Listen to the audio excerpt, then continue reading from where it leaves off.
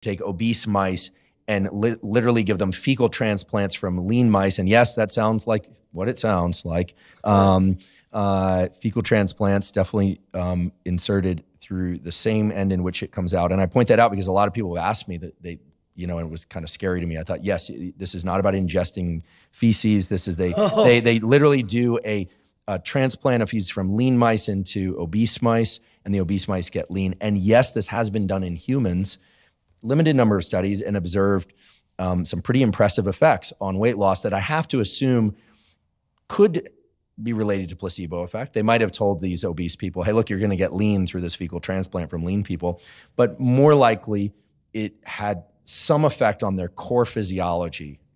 I don't know which aspects, although I can speculate which ones.